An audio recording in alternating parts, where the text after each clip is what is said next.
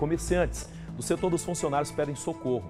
Por que, que eles estão pedindo socorro? Uma loja de roupas, a gente está mostrando aí, essa loja já foi furtada pelo menos 10 vezes. 10 vezes. Essa ação está tirando o sossego dos moradores ali na região. Eu vou agora com é a Jaqueline que está comigo agora, né? A Jaqueline Mendonça que vai trazer a informação porque ela está lá no local. Jaqueline, dá para desanimar qualquer comerciante, não é isso? Boa noite.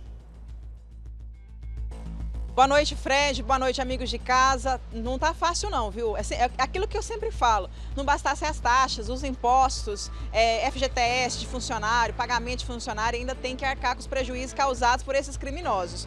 Nós estamos aqui no fundo dessa loja, é uma loja que tem na Avenida Anhanguera de peças masculinas. Se nós estamos aqui no fundo, que é aqui onde acontece a fábrica, e é por aqui e esse criminoso entra. Olha lá o buraco no teto. Ele consegue entrar pelo um galpão que fica aqui ao lado, mas como está chovendo a gente não consegue lá. Mas imagina aí na sua cabeça um galpão onde ele consegue subir e ter acesso aqui. Quando ele cai aqui dentro, aí é só alegria, gente. Com tanta coisa boa que tem aqui, ele leva o que ele consegue.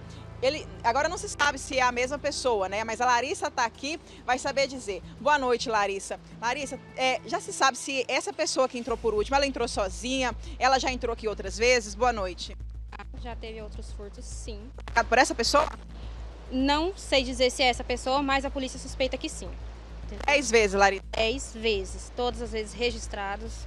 Teve um prejuízo maior de 10 mil reais entendeu? Que ele levou mais peças, levou celular, maquinário, peças caras da, da loja e tudo mais. E vem cá, ele entrou a última vez, foi ontem, 10 ontem, da noite? Às 10 da noite.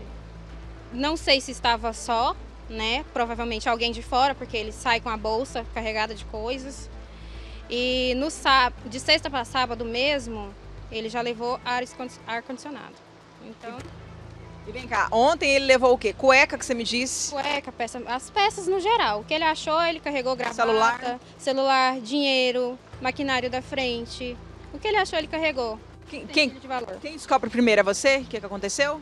A gente tem um sistema de segurança, né, que é acionado. Aí a minha chefe vem assim que ela recebe a, a, a mensagem, mas como eles não têm acesso a entrar, ela já quando chega já deu tempo deles fugir. Era isso que eu queria saber, a reação do seu chefe. A situação é complicada, né? Cara, ela fica sem chão, porque dez vezes, né? Só nessa semana, duas vezes. Roubaram a fiação toda da loja. Toda. A gente ficou sem energia, atendeu o cliente. Isso foi que dia? Isso na sexta-feira, na última sexta. Ah, então na última. Então, em dez dias foram quantas vezes?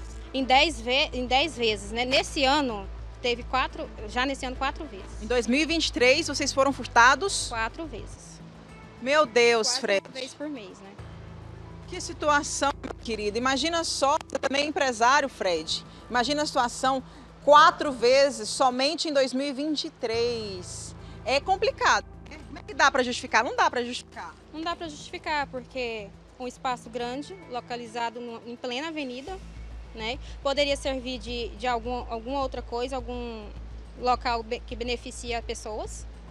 E servindo de mocó, porque lá dentro tá uma nojeira. O pessoal pratica ato sexual lá dentro. Dentro da onde, menina? Dentro da desse, galpão. Desse galpão. Você passa lá durante o dia, eles colocam só um pallet, um paninho e pra eles tá tudo certo. A polícia acabou de sair daqui, por enquanto. Exato. A polícia veio aqui, né? Só que também eles fazem o trabalho dele e, deles e a justiça vai e solta. Igual o, o rapaz, né? A gente já sabe quem é, esse último. Já foi identificado. Já foi identificado, só não vou falar para não atrapalhar. E é isso aí, né? Contar com a ajuda deles. A gente pede para a prefeitura, o pessoal que está vendo agora, dar um apoio aqui, porque perto de faculdade, perto de terminal, movimentado, entendeu? Praticamente no centro. No centro de Goiânia.